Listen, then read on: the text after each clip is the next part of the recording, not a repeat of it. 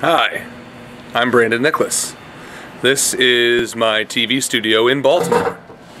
I teach high school video production. Here are some of my students sneaking in the back door. We didn't do it. Hey. Here's our set where we do the morning announcements. Our control room. Our little weather station. Extra green screen. Stop motion animation station. Pile of crap. We've got Christmas lights. Stuffed animals made by Jean. students. And kids with pink hair. Right now we're studying interview techniques and composition. Things to do and not do. That's the only difference. This is my desk. Plenty to do.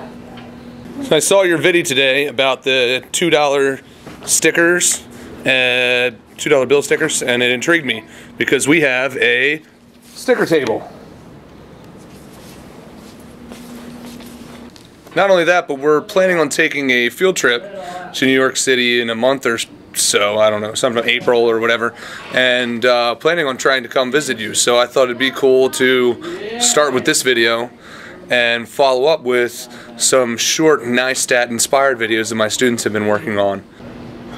So from Studio 125 in Baltimore, Maryland, this is Mr. Nick saying, hope to see you soon.